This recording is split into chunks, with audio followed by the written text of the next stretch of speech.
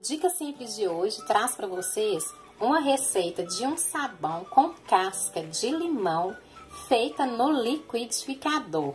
Venha conferir o passo a passo. Para nossa receita, nós vamos precisar de 500 ml de óleo. Eu estou usando óleo usado.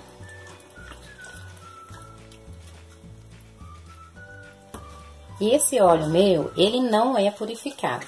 Então, eu vou acrescentar aqui, é opcional, 50 ml de água sanitária. Essa água sanitária é água sanitária caseira, que eu fiz aqui no canal. Às vezes o seu óleo já é purificado, não precisa. E casca. Aqui, ó, casca de três limões. E nós vamos bater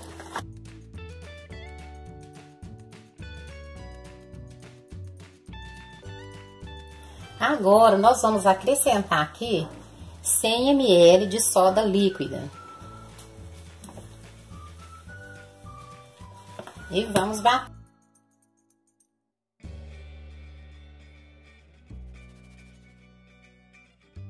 Agora, nós vamos acrescentar uma colher de sopa, de sopa não, gente, desculpa, uma colher de sobremesa de sal de sopa é para uma receita. Eu tô fazendo só meia receita. E vamos dar uma batida aqui.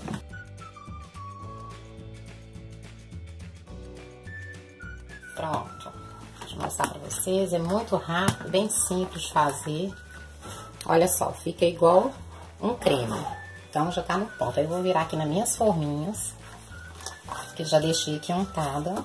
Vou virar aqui e já volto então, eu já coloquei aqui nas minhas forminhas e agora a gente vai aguardar e depois eu volto para finalizar a nossa receita. Então, já se passaram 24 horas que o meu sabão ficou pronto. Gente, olha só que lindo que ficou. Ele tá, olha só, mostrar de pertinho, super duro. Gente, eu amei fazer essa receita.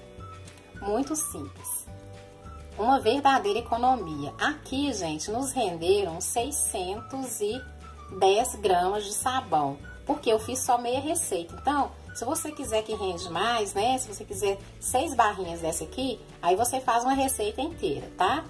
E lembrando que o tempo de cura, gente, é no mínimo aí 30 dias para você aguardar para começar a usar o seu sabão, tá? Eu espero que vocês tenham gostado. Não esqueça de deixar o seu joinha. Se você não é inscrito aqui no canal, se inscreva, clica lá no sininho para receber as notificações. Beijos, até o próximo.